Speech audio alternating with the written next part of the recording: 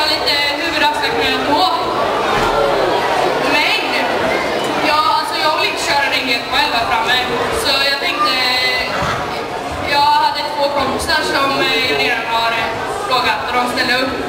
Men jag kommer bara ihåg den ena och det var Elin Ryd, tror jag hon hette.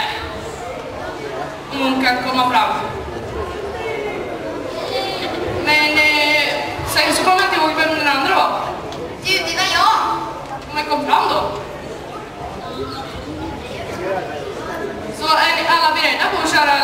hur långt ska kunna gå då.